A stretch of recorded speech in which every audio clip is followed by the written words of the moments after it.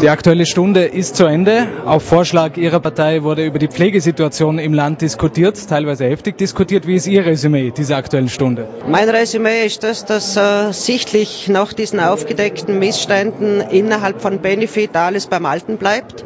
Das halte ich äh, für skandalös, ehrlich gesagt. Das ist auch formuliert worden meinerseits. Äh, wir darüber hinaus der Meinung sind, auch das ist formuliert worden, dass die Frau Landesrätin Schmidt im Bereich der Pflege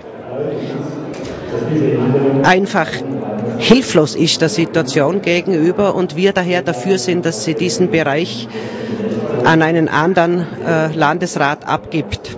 Rechnen Sie wirklich damit, dass Grete Schmidt so handeln wird? Ich rechne ehrlich gesagt nicht damit. Also ich rechne, dass da wie üblich äh, man die Reihen schließt, obwohl die Kritik ja auch, und das weiß ich genau, auch aus den eigenen Reihen sehr stark kommt.